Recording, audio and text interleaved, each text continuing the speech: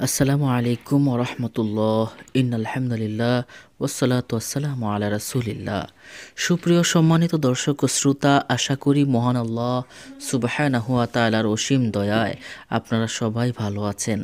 আজ আপনাদেরকে জানাব, ঘুমানোর আগে যদি আপনি এই দোয়াটা পাঠ করেন, আল্লাহ পাক রব্বুল আলমিন চিরতরে আপনার সমস্ত যৌন রোগগুলো দূর করে দিবেন।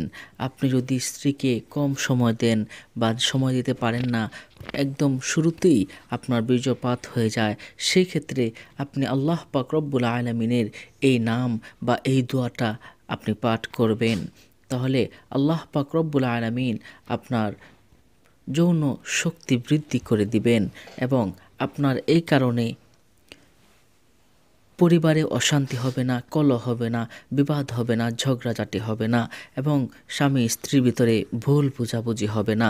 অনেক সময় দেখা যায় যৌন শক্তি না থাকার কারণে অনেক সংসার ভেঙে যাচ্ছে, যার কারণে বিভিন্ন রকম সমস্যায় পড়তে হয়। তো আল্লাহ পাক রব্বুল আলমিনের এই একটি আয়াত যদি আপনি পাঠ করেন ইনশা আল্লাহ আল্লাহ পাক রব্বুল আলমিনের ইচ্ছায় আপনার যৌন শক্তি আল্লাহ পাক বাড়িয়ে দিবেন।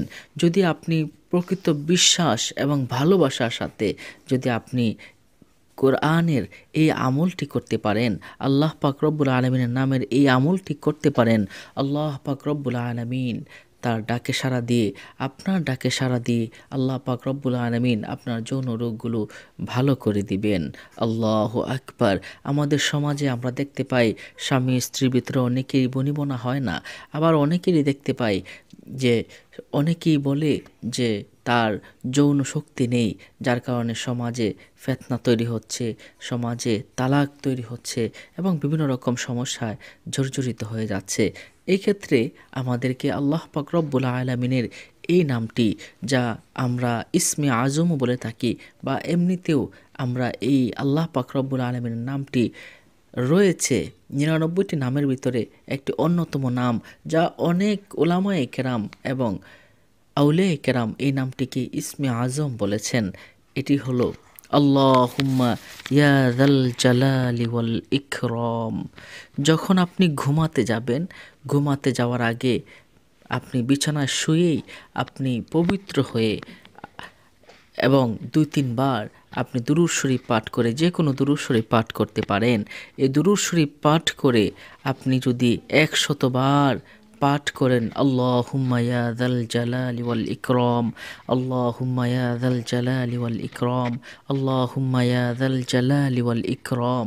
আমি তিনবার পড়লাম, এভাবে যদি আপনি একশতবার পাঠ করে ঘুমান ইনশা আল্লাহ আল্লাহ পাক রব্বুল আলমিন আপনার যৌন শক্তিকে বাড়িয়ে দিবেন।